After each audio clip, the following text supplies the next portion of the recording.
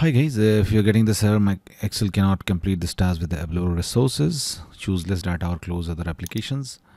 So here is the fix. Oh, what you have to do, just open Excel or while your Excel is open, just click on File and then click on Options in the left menu, bottom left menu. Now this Excel option window will pop up.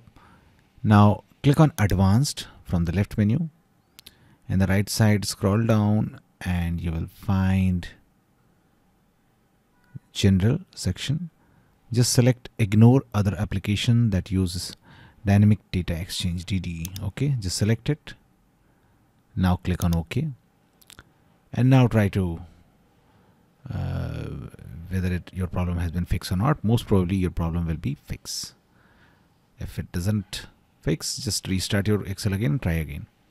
Now if this also does not work what you can do just right click on start button click on run or press windows plus r key to open run and type excel slash save and click on ok.